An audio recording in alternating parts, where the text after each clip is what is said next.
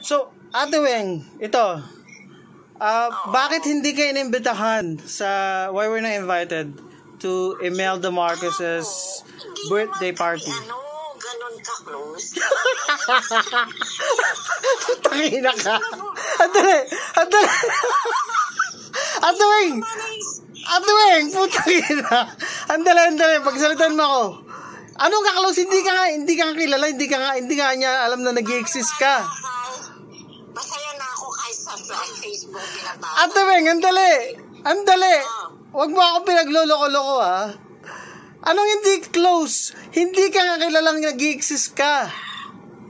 Makinig ka. Oh, nakikinig ako. Mo Sila bongbong, binabasa nila yan, tinitignan nila yan. Ah, Alam mo ba yung mga kamag-anak namin sa ano, sa. sa Mindanao, nagaling Hmm. ng bata.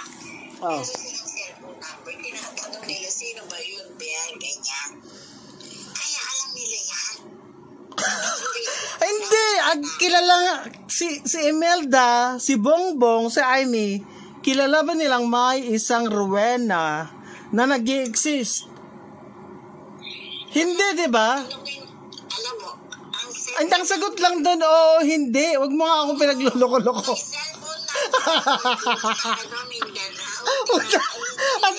sensyo na talaga, napapamura talaga ako. Hindi pong, ay no. Aray ko. Itatanong nila yung gusto. Ate Weng, di, ang tagal-tagal na natin magkakilala, hindi mo na kwento sa akin kahit unang-una, hindi mo alam kung saan namatay si si Lakay uh, Ferdi, di ba? Hindi mo alam. Kung hindi ka pa sinabing sa Hawaii, sabi mo sa Mandaluyong, pumunta pa kayo. So, anong, ano yung pinuntahan nyo sa Mandaluyong? Alam mo kung ba't kita pinapatulan sa It's not you. I mean, you're you're a good person. Pero pagdating pala sa politika, is, ay nako, yung tipong, alam mo yon yung, ano yung hihintayin ko? Ano, ano yung hihintayin ko? Ano nga? Ano yung hihintayin ko na bibigyan ka ng posisyon ng Taliano Gold? Ng Yamashita Treasure? Ng Picasso painting? Ano nga yung hihintayin ko? Yung talion gold yun. Anong Talian Gold? Hindi mo maalam. Putang ina. Ano, ano, ano, anong Talian Gold? Ano yung Talian Gold? Alam mo ba yung pinanalo yun na kaso ng Mm-mm. ano? Saan mo nabasa yan? Nabasa ko yung pinanalo ni Alam mo, FM na, ginawa yan ng mga walang kwentang kwan, vlogger sa Facebook. At walang Taliano. Talaga ano? Wala nga. Saan nag exist yan? Ilang gold ulit? Alam mo yung sinabi, ilang, oh, sige, tingnan nga natin, i-quiz kita, okay? Quiz ngayon. You learn your lesson na, okay? I'm your teacher. So, ilang, ilang, ilang tons of gold yung sinasabi nila sa Facebook na binigay kay Marcos? Ka. Alam mo ba ganito? Hmm. Meron akong ano, na nung nung inauguration, nakasabay kong kumain sa Ah. Jollibee. Hindi, andali muna, andali muna. Tatay, Bago tayo, Hindi ka totoo yung tatay niya, doon ang Ah. as PSG. Ah. Ngayon, lahat-lahat ng mga Mm. secrets, yung, yung gold na yan, talagang pinanalo yan, hindi pa, hindi pa mga presidency. Eh, pinanalo yan, yun ang binayad. Okay, okay. Sige. Tanungin nga kita. Tanungin nga kita. Okay, sige. Sabihin natin tama yan. Ilang, kasi according sa mga, mga, mga conspiracy theories or Marcos loyalists sa Facebook. So, ilang tons of gold daw yung binigay kay Ma- Marcos ng mga Taliano family? Ilan? Yung, Ilang ilang tonelada? Sige nga kung alam mo yung one yung fax mo. Yung ilang to ilang tonelada ang binigay kay Marcos daw. Kaso six. Hindi. Puta. Talaga, Vince. Teka ba, hindi ko na matatambak. Ano? Ang sakit ng ulo ko sa'yo. puto. Okay. Alam mo, baka mamaya nag-CR ka dyan. Oh my God. Ginagawa mo lapit. Alam mo, naka, yan talaga. Hindi lang, hindi, sa bagay, hindi lang naman ikaw ang nag-iisang kwan.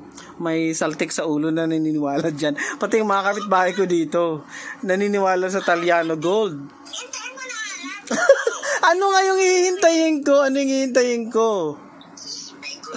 Alam Ba- mo, bibigyan ka na ba ng corona ng Malacanang? O ano, ano? alam mo, kami mga mag-release sa amin ganun. Yung sa kung ano, tignan mo naman yung mga chinitin ko. Kita mo naman. Ha? Paano Ano yan? Ano yan? sila. Hindi ibig sabihin. Tingnan mo ha. Anong titingnan ko? Lumalabas. Hindi. Andali! Ate Wing, liwanag, andali! Nagugulan ako sa'yo. Linawin mo, ano yung unang-una, ano yung hihintayin ko?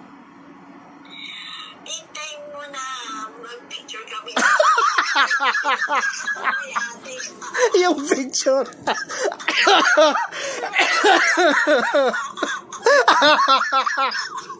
Siyempre, ang dami nagkikipag-autograph. Ako, pwede kong gawin yun. Alam mo yun, yung tipong autograph sa ka nagpapapicture sa isang sikat, di ba? Baka sabihin, kailangan nakalagay doon ate Wing ha. Yung kailangan may video ha. Andali. Pa, hindi. Ate Wing, andali. Pakinggan mo ako. Kasi, pwedeng gawin yun ng kahit sino na fan or butante ni Bongbong. So, kailangan nakalagay rin, Uy, Chang, Chang Weng, buti naman pumunta ka dito sa Malacanang. Parang ganun, yung talagang kamag-anak ka talaga, yung bibigyan ka ng kan.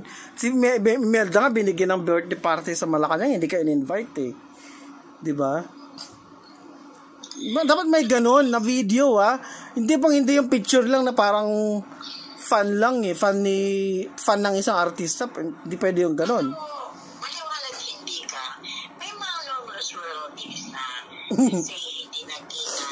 Hindi totoo yan, miss. Marami talaga lahat. Kahit ako, eh, marami. May, mayroon akong mga relative na hindi ko nakikita. Nangyayari yan sa buhay, totoong buhay. Pero, ito yung hindi ko matanggap. So, hindi ka inin hindi ka in-invite ni Melda kasi busy ka. Yung, yun yung sabi mo sa akin sa sa conversation natin. Close.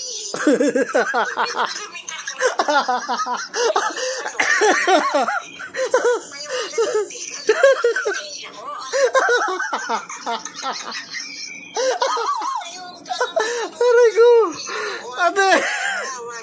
Ano kasalanan mo ito pag nakuha ako ha? Bumulagta ako dito sa kakatawa ha? Alam mo, imagine mo, Hmm. gawa ng Marcos, Hmm. ang lola namin, ibig sabihin, ang lola namin, magmabait, maganda, Oo. matalino, di ba? Sino yung lola nyo? Sino yung lola nyo? Crescencia. Ha? Crescencia, tignan mo. Crescencia. Rubio, tignan mo, tignan mo. Anong pangalan? Crescencia. Okay, mo. Later, later. Kasi, oh, nagipag-usap ako sa'yo, di ba? Alam ka namang, mm, Tignan mo, Crescencia Rubio. Ah. Yun, kapatid yun ng pali, lola, mm, lolo ng, ng daddy ko. mm, mm. Tamo? Kaya, lola ba o lolo? ba? Is Rubio So, eh. ah, ang tanong ko ngayon, Ate Beng, Oo. so ano ngayon? Ngayon, pag yung mga yan, nasa roots yan, na ibig sabihin, Oh, eh, nasa bloodline mo yan. ano yung bloodline? Ano yung nasa bloodline nyo? Ibig sabihin, Taliano Gold? mo yan, katuko mo sila, makikita nila Ah. Makikita nila na katuko mo yan. Natural, iano, nanis nila yan. Eh kayo nga magkapatid, nag-aaway kayo, nagdedemandahan. Yan ba yung magkadugo? Oh. Anong siya? Anong sila? Yung kapatid mo? O, idedemanda mo nga yung kapatid mo. O, yun ba yung nasa dugo nyo, yung bl- bloodline nyo? Nakikinig ako. O, sagutin mo muna yung, yung kwan ko, yung statement ko. Uh, what do you mean by bloodline? So, you're, you're thinking of it as like a royal bloodline. you're not a royal family, Ate Weng. Di pong, have you noticed that no one is liking your post whenever you post anything about the Marcoses? It's because people are some kind of pissed off. Okay, we don't give a damn if your relative is this royal family or this celebrity or whatnot. Wala kaming pakialam doon. Yung tipong, you're like, para kayong isang malayong kamag-anak na tuwang-tuwa na nalaman mo, yung isang re- celebrity ay kamag-anak mo at ikaw naman pinagdidildilan mo yung sarili mo doon and and, and we people on Facebook your friends are some kind of concerned about you hindi bang are you are you in a good state of mind or mental health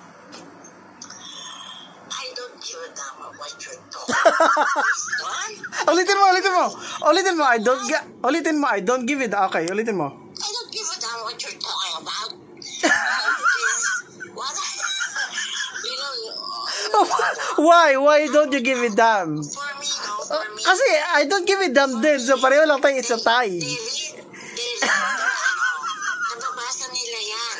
So, they don't care too. okay so okay so. What then okay Okay, ang tanong ko ngayon, what then kung nasa bloodline nyo?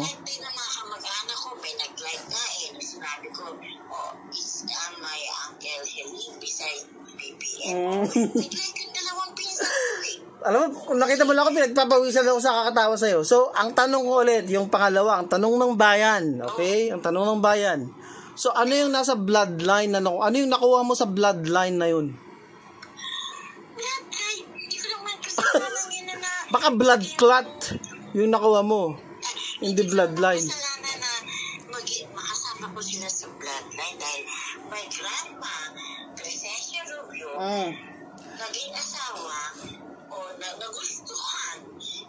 Ni Is, Fabian. hindi, wala namang issue dun eh. Kasi yun nga yun eh, yun nga yun. We don't choose kung saan tayo pamilya nakasama, di ba?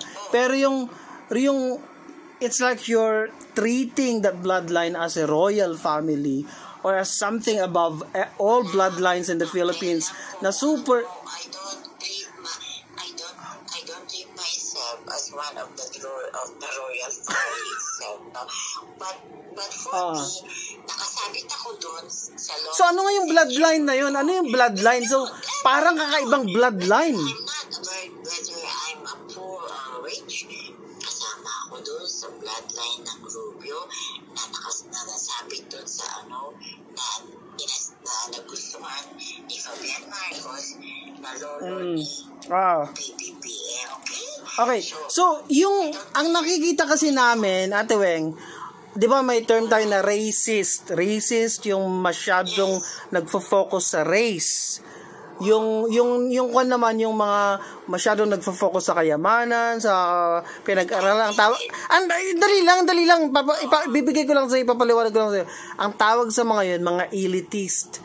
Ang tawag sa iyo, clannish. Clannish clannish. Kung mayroon lang talagang bloodlineist, okay, or bloodline superiority complex, ikaw na yon.